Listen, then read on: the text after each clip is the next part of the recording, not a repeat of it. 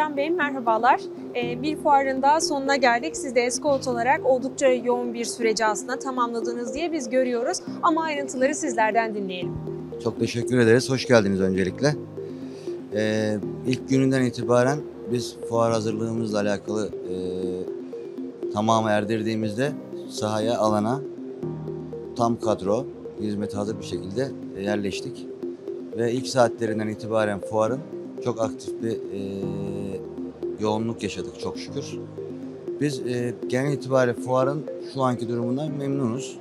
Ama isteriz ki tabii herkes de iyi olsun. Biz de gerçi dışarı çıkıp da çok da gözlemleyemedik de. e, umuyorum ki arkadaşlarımızın hepsinde fuar alanında istediğini almıştır. Çok teşekkür ederiz. Var mıdır eklemek istediğiniz bir nokta? Şöyle biz fuara gerçekten Aykut Bey ile beraber çok ciddi bir hazırlık içerisinde aylarımızı vererek buraya geldik. Ve e, burada bu temponun olacağını hissetmiştik. Ve bunu e, çok şükür yaşadık beraber.